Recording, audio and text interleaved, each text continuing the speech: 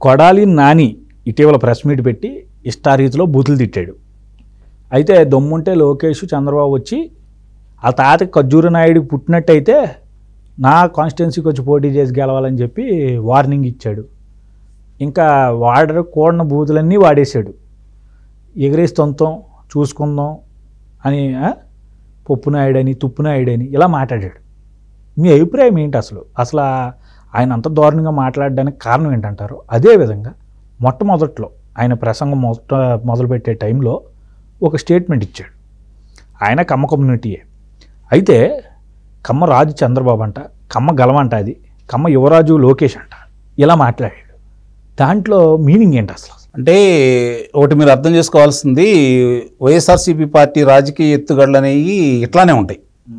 ఇంతకంటే గొప్పగా ఉంటాయని కానీ లేకపోతే మేము ఈ అభివృద్ధి చేశాము ఇన్ని పరిశ్రమలు తీసుకొచ్చాము ఇంతమందికి ఉద్యోగ కల్పన జరిగింది ఇంతమంది నిరుపేదలకు మేము సాయం చేయడం జరిగింది లేకపోతే ఎస్సీలకి ఇది ఇవ్వడం జరిగింది బీసీలకి ఈ ప్రయోజనాలు కలగజేసామని చెప్పని ఆలోచన అయితే వాళ్ళ దగ్గర ఉండదు కదా. ఇవి తప్ప ఎన్నికల సమీపిస్తున్న తరుణంలో దగ్గరకు వస్తున్నాయి కాబట్టి ప్రజా వ్యతిరేకత మళ్ళీ బాగా పెరిగింది కాబట్టి దాన్ని తగ్గించుకునే విధానంలో మళ్ళీ ఈ కమ్మ అనే పదాన్ని తీసుకురావడం జరిగింది. కమ్మ అనే పదంలో కమ్మదనం ఉంది. అది ఇతనికి అర్థం కావట్లా? ఇతను ఆ కులంలో పుట్టినాడే కదా. ఇతనికి ఏందయ్యా అంటే ఏ కాడికి ఇప్పుడు వేరే వాళ్ళు కనుక కమ్మాళ్ళని తిడితే దానికి పెద్దగా ఉండదు. కానీ ఓ కమ్మత్తం చేతే కమ్మాళ్ళని తిట్టిస్తే నిజమే కదా అని చెప్పని వేరే వాళ్ళు అనుకునే విధంగా అంతకు ముందు వాళ్ళు విజయవంతం అయ్యారు కాబట్టి రెండు వేల పంతొమ్మిదికి ముందు ఇదంతా జగన్మోహన్ రెడ్డికి తెలిసే జరుగుతుందంట. నిస్సందేహంగా శివుడాజ్ఞ లేనిదే చేమైనా కొట్టదనే ఒక సామెత ఉంది కదా. అలాగే వీళ్ళు ఎవరన్నా మాట్లాడాలి అంటే అక్కడి నుంచి అనుమతి లేకుండా మాట్లాడితే వీళ్ళకి పంపరేగిపోయింది అది ఒకటి గుర్తుపెట్టుకోండి మీరు. కాబట్టి అక్కడి నుంచి అనుమతి రాకుండా ఎవరు మాట్లాడే హక్కు కానీ అవకాశం కానీ ప్రజాస్వామ్యం కానీ వైఎస్ఆర్సీపీ పార్టీలో లేదు. ఇంత కులగజ్జి ఇంత కుల అతను కులగజ్జి లేదండి. కుల మీద వ్యతిరేకత కావాలని చిత్రీకరిస్తున్నాడు. అది అంటే తన అనునీయులకి పదవులు ఇచ్చుకోవడం మరో పక్క నుంచి ఇంకో కులం మీద పడేయడం ఏంటి అసలు? అదేనండి ఇప్పుడు అతను మాట్లాడుతుంది ఏంటి?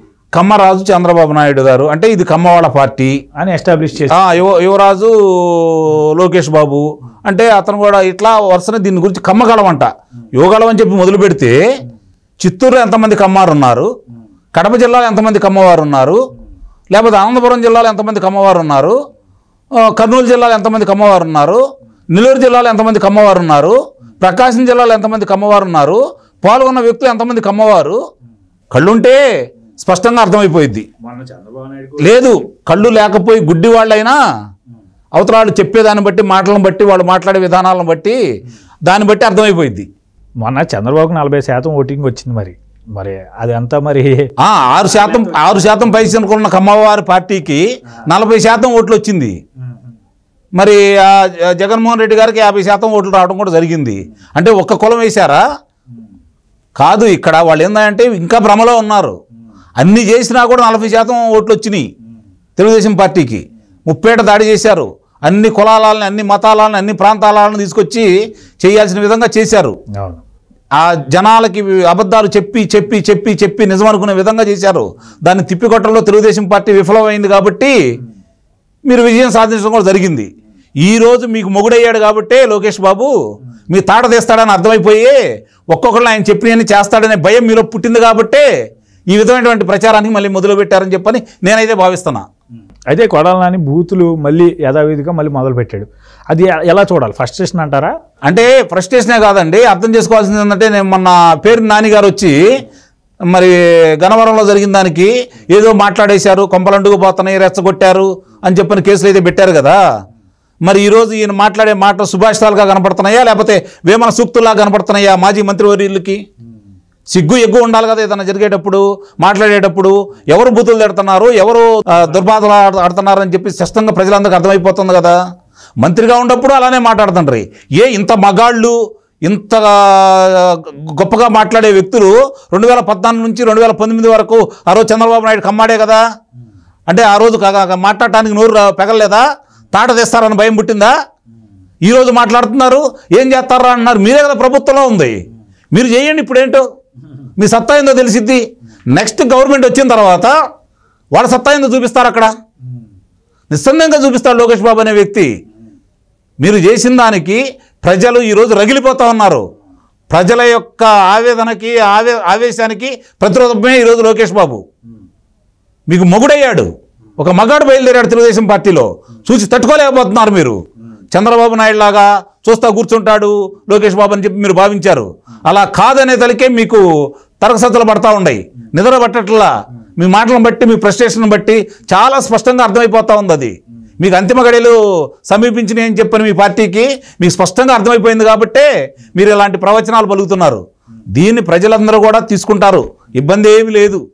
దానికి ఇప్పుడు ఘటనకి ప్రతిఘటన ఎలా ఉంటుందో చా సాక్ష్యాధారాలతోటి. రెడ్ బుక్ అని నేను ఉదాహరించావు. నిస్సందేహంగా రెడ్ బుక్ రాస్తున్నాడు. ఎవరిని వదిలిపెట్టే ప్రశ్న లేదు. అధికారులను వదిలిపెట్టడు. వాలంటీర్లను వదిలిపెట్టడు. నాయకులను వదిలిపెట్టడు. దౌర్జన్యం చేసిన వాళ్ళని వదిలిపెట్టడు. భూ కబ్జాదారులను వదిలిపెట్టడు. హంతకులను వదిలిపెట్టడు. ఎక్కడ ఉండా ఏ కలుగులో దాక్కున్నా కూడా లాక్కొచ్చేసి న్యాయస్థానాల్లో వాళ్ళకి సాక్ష్యాధారాలు సహా చూయించేసి శిక్ష వేయటానికి ఈరోజు లోకేష్ బయలుదేరాడు. నిస్సందేహంగా అది. లోకేష్ బాబు చేసింది మొట్టమొదటి యువగళం పాదయాత్ర ప్రారంభించాడు. జయత్రాత్ర అయింది ఈరోజు దండయాత్రగా సాగుతుంది మీ మీద. అందుకే మీకు భయం పుట్టింది. ఆ భయానికే ప్రజలు అర్థం చేసుకుంటా ఉన్నారు.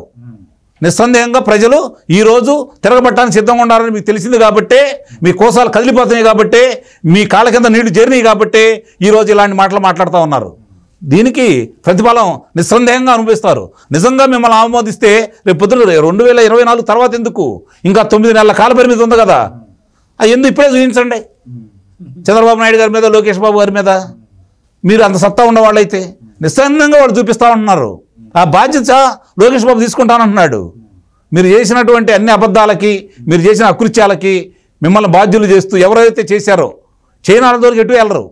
చేసిన వాళ్ళని వదిలిపెట్టడం చెబుతున్నాడు. ఎక్కడ వెనక్కి తగ్గట్లేదు? మీరు ఎన్ని బల ప్రయోగాలు చేసినా ఎన్ని రాళ్ళు రువ్వినా ఎన్ని కోడిగుడ్లు వేసినా ఎంతమంది పోలీసు బలగాలను ప్రయోగించినా ఏ విధమైన కేసులు పెట్టినా వాళ్ళ మీద ఏమీ భయం లేకుండానే ముందుకెళ్తానే ఉన్నాడు. తెలుగుదేశం పార్టీ కార్యకర్తలకి సత్తా ఏంటో నీకు కూడా తెలుసు. మీరు ఆ పార్టీలో నుంచి వచ్చిన వాళ్ళే. మరి చాలాసార్లు మాట్లాడారు అది మాట్లాడడానికి కూడా మాకు కూడా సిగ్గేస్తూ ఉంది ఏదన్నా. దీని గురించి విశ్లేషించాలి అంటే. ఏంటంటే చా- రామారావు గారిని ఎన్నుపొడి పొడిచాడని చెప్పి మాట్లాడుతున్నాడు. ఎన్నుపొడి పొడిచిన మనిషి దగ్గర రెండు వేల నాలుగులో టికెట్ తీసుకుంది నువ్వు. రెండు వేల తొమ్మిదిలో టికెట్ తీసుకుంది నువ్వు. గెలిచింది నువ్వు. మరి సిగ్గు ఎగ్గు లేకుండా మీరు మాట్లాడుతున్నారు. అంటే ప్రజలకు ఇవన్నీ తెలియదు అనుకుంటున్నారా అంటే మీరు చెప్పిందే నమ్ముతారు అనుకుంటున్నారా ఫలితాలు చూస్తారు రెండు వేల ఇరవై నాలుగులో. చూద్దాం మీకు అనుకూలంగా వస్తే మీరేం చేస్తారో చూడొచ్చు. తెలుగుదేశం పార్టీకి మాత్రం అనుకూలంగా వస్తే మాత్రం లోకేష్ బాబు చెప్పినని చేస్తాడనే నమ్మకం ప్రజలకు ఏర్పడింది కాబట్టి ప్రజాదరణ పెరిగింది. అంటే యువగళం పాదయాత్ర చూస్తూ ఉంటే మళ్ళీ ఒక ప్రజల్లో వచ్చిన మార్పుకి వాళ్ళ వాళ్ళ యొక్క తిరుగుబాటుకి నిదర్శనలా కనపడతా ఉంది.